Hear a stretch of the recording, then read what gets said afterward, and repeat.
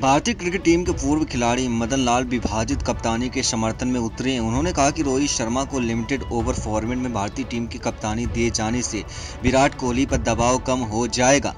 Team India को विराट की कप्तानी में अब तक किसी आईसीसी इवेंट में जीत नहीं मिली। आईसीसी टी ट्वेंटी विश्व कप के बाद तीनों फॉर्मेट में उनको कप्तान बनाए रखने पर फैसला लिया जा सकता है। मदन लाल ने कहा है कि ये एक अच्छा विकल्प होगा। हम लोग फ़िलहाल बेहतर स्थिति में हैं।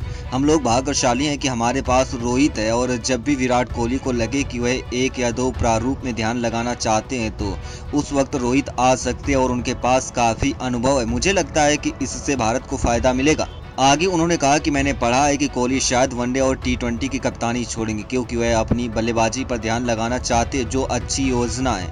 मुझे नहीं पता है यह महज अफवाह है या क्या है, लेकिन विभाजित कप्तानी की योजना भारत को फ़ायदा पहुंचाएगी।